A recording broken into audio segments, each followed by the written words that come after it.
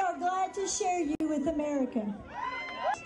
What a what an incredible opportunity today to welcome our local hero Lauren Alaina back to uh, to Fort Oglethorpe, Georgia. It's a great day, isn't it?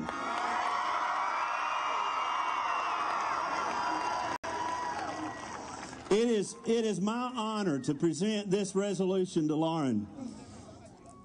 A resolution by Representative Jay Neal, District 1, Georgia House of Representatives recognizing May the 14th, 2011 as Laura Alaina Day.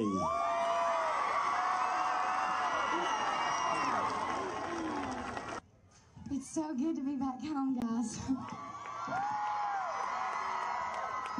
I'm sorry, what did you say? I said it's good to be back home.